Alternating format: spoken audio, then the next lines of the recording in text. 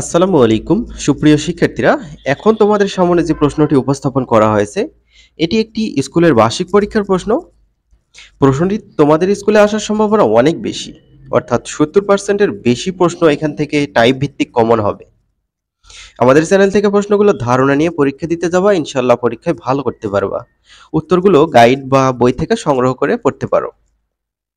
তোমরা এমনভাবে প্র্যাকটিস করবা যাতে সংখ্যা চেঞ্জ করে দিলে পারো। ঠিক আছে? এখানে দেখো বারো নং এমসিকিউ তেরো নং, চোদ্দ নং, পনেরো নং।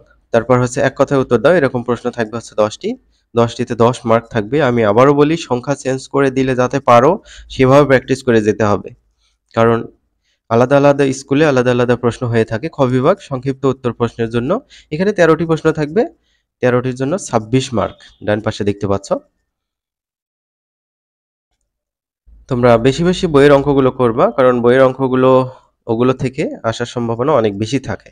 তারপর স্কুলের টিচাররা যে সাজেশন দেয়, সেটা ফলো করবা। তারপর এখানে গ বিভাগ দেখো, রচনামূলক প্রশ্নের জন্য দৃশ্যপট থাকবে, অর্থাৎ একটা উদ্দীপক থাকবে। উদ্দীপক দেখে ক এবং ক্ষয়ের উত্তর করতে হবে। এখান থেকে দশটি প্রশ্নের মধ্যে সাতটার উত্তর দিতে হবে। প্রত্যেকটা প্রশ্নের জন্য সাত মার্ক।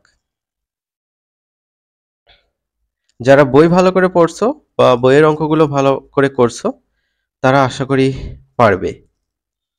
এখানে এমন কঠিন কিছুই নেই। জাস্ট বইয়ের অঙ্কগুলোই এক একটা করে অঙ্ক দেওয়া আছে, দুটো করে পার্ট পার্ট করে দেওয়া আছে, ক এবং খ।